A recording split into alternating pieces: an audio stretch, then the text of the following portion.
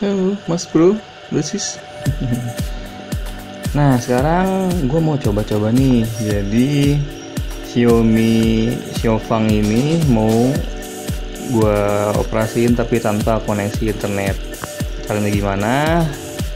Jadi yang kita beliin cuman kamera smart CCTV ini Xiaofang yang gue pakai sama SD card SanDisk 16 GB kelas 10 tinggal ini aja sih yuk. Kita masukin SD cardnya ke kamera. SD cardnya sudah masuk. Ini lubang SD card ini lubang res tinggal kita colokin aja kameranya ke adaptornya adaptornya itu pakai micro USB ini bawaan. Kalau lo beli juga pasti dapat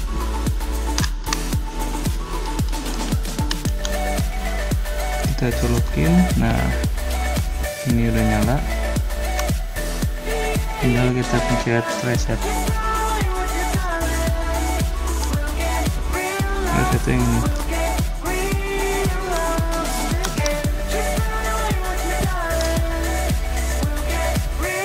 media klip nah ini otomatis dia ketika sudah ada USB nya dia sudah bisa merekam. Sekarang coba kita taruh di sini.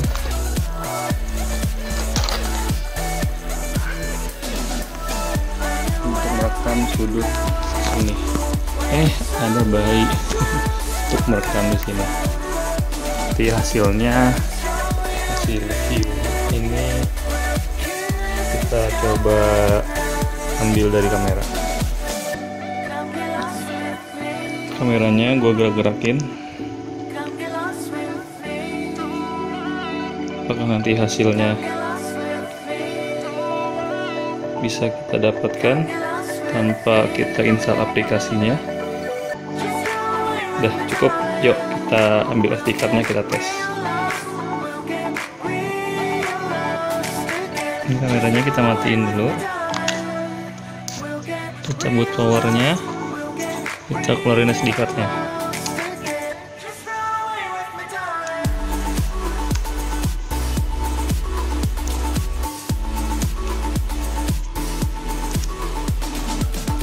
Karena gua males buka laptop jadi kita tes di handphone aja. Nah, ini SD card di dalam kita mau lihat hasil rekam dari kamera CCTV tadi. Kita pilih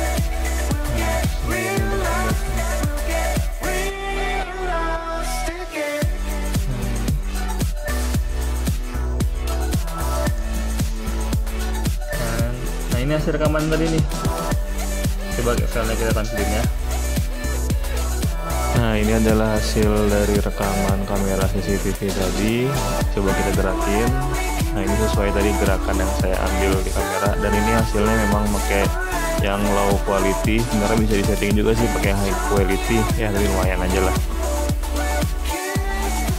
Gimana hasilnya? Lumayan kan? Jadi dengan kamera cuman 250.000 plus SD card tadi kamu udah bisa punya CCTV yang multiguna buat mantau ruangan. Oke, semoga bermanfaat.